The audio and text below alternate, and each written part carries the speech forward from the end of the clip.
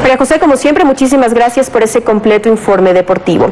Y atención amigos, de última hora, la fiscal general Diana Salazar se pronunció sobre la salida del país de Ricardo Patiño a través de su cuenta de Twitter. Escribió lo siguiente, abrimos comillas, el sábado Fiscalía solicitó una orden de detención contra Ricardo Patiño cuando aún se encontraba en el país de manera fundamentada.